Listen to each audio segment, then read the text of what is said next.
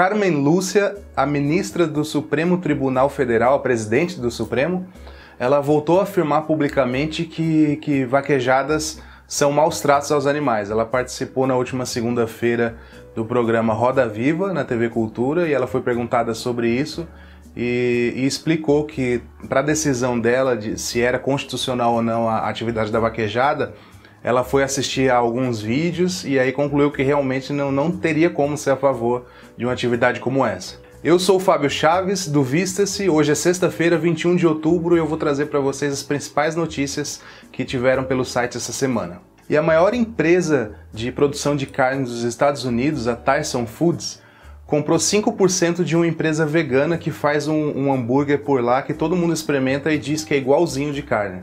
A compra tem dividido opiniões dos veganos. Enquanto alguns acham que é até uma coisa boa, que, as, que os pecuaristas estão procurando alternativas para mudar de ramo, alguma coisa que dê dinheiro, mas que não precise criar animais, outros estão achando mesmo que a, que a Tyson Foods está só se aproveitando de um nicho ali de mercado e que nada vai mudar nem a longo nem a, a médio prazo.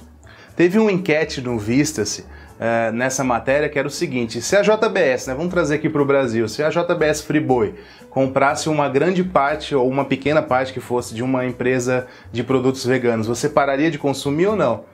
Ficou praticamente empatado ali em 40% é, entre as pessoas que parariam de consumir porque acham que, que a empresa só estaria ali aproveitando um nicho de mercado e outros 40% não pararia de consumir porque eles entendem que isso é uma forma é, do veganismo a, crescendo na sociedade, né? Então, assim, a empresa começa aqui, lá e tal, lança um produto vegano, outro mesmo que não seja vegana. É, e os outros 20% responderam que não sabiam se, se continuariam consumindo ou não. O Lenny Kravitz, cantor e multi-instrumentista norte-americano, publicou uma foto cercado de vegetais para falar para os mais de 12 milhões de fãs dele que já há sete meses ele é crudívoro.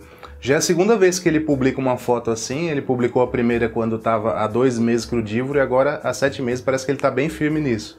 Não se tem certeza se ele é vegano. Alguns crudívoros usam mel, ou até alguns, assim, em casos extremos, usam até carne crua. Mas parece que não é o caso mesmo, porque ele só publica fotos com vegetais e tudo mais e diz que é uma das jornadas mais incríveis que ele já passou pela vida dele e ele parece que está bem firme nisso. Uma belíssima animação brasileira criada pelo estúdio Zambi. É, tá lá no Vista-se para você assistir. Ela foi criada para um festival de, de vida selvagem que aconteceu essa semana nos Estados Unidos. É, e é uma animação assim incrível que mostra os animais cantando uma música daquele, daquele musical Os Miseráveis. Eles cantam enquanto o homem é, faz mal ao meio ambiente deles e a eles e tal. É bem, bem bacana mesmo, dá uma olhada lá. É lindo e triste também.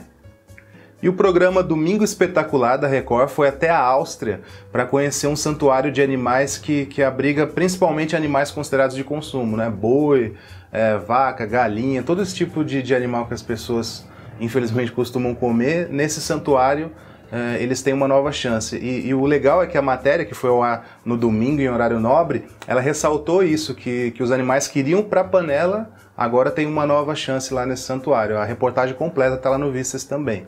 Para quem mora em São Paulo, mais uma grande novidade. Agora a famosa lanchonete Prime Dog tem também delivery, né? Uma coisa que faltava aí que os clientes sempre pediam. E dá para pedir pelo iFood também. O telefone e todos os detalhes estão lá no site, dá uma olhada.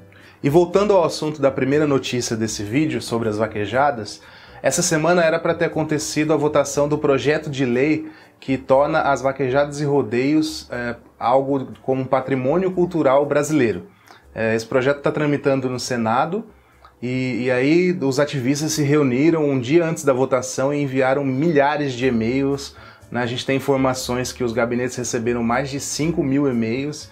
Então, assim, os senadores eles sentiram mesmo essa, essa pressão popular. E no dia da votação, que era para acontecer a votação, uh, dois senadores pediram vista, ou seja, eles pediram para ver direito o projeto, para, enfim, para ganhar tempo, mas isso na verdade foi uma coisa boa, porque se fosse votado naquele dia, provavelmente o projeto passaria, infelizmente, porque a maioria dos senadores estão é, a favor desse projeto que torna rodeios e vaquejadas patrimônio cultural brasileiro.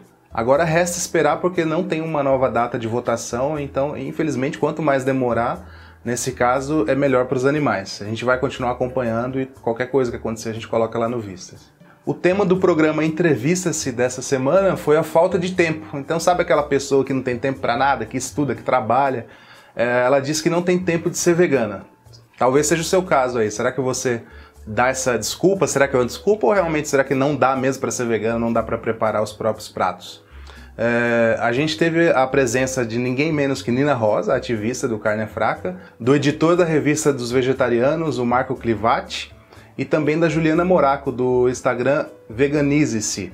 A Juliana, por sinal, ela é estudante de medicina, mora sozinha fora de, de, da cidade dela, estuda em período integral e arrumou tempo aí de ser vegana e ainda fazer um ativismo pelo Instagram. Então esse papo tá bem interessante, dá uma olhada lá no Vistas também. E agora eu vou falar o que vai acontecer no fim de semana. São três eventos aí dos mais importantes que vão acontecer. O primeiro é em Taubaté, dentro de um shopping. Eu acho que é a primeira vez que tem uma feira vegana dentro de um shopping, vai ser em Taubaté, agora sábado, amanhã, dia 22. No domingo, dia 23, é a vez do Rio de Janeiro, com a quarta edição da feira Veg Borá. Serão mais de 40 expositores na Zona Sul, ali em Botafogo. O endereço e o horário certinho tá lá no site. Também no domingo, só que é em Curitiba, na capital do Paraná, vai ter a primeira edição de uma feira chamada Jardim Vegano. Vai ser ali no, no espaço do, do Emporium Veg Veg. E vai ter até corte de cabelo, uma coisa que eu nunca tinha visto em, em, feiras veganas. E vai ter também, claro, coxinha, um monte de comida, um monte de itens de higiene pessoal e tudo mais. Então é isso, semana que vem eu tô de volta aqui com as principais notícias do, do portal Vista-se. Espero trazer alguma notícia boa, especialmente sobre esse caso das vaquejadas que a gente tem acompanhado. Um abraço, até semana que vem. Tchau!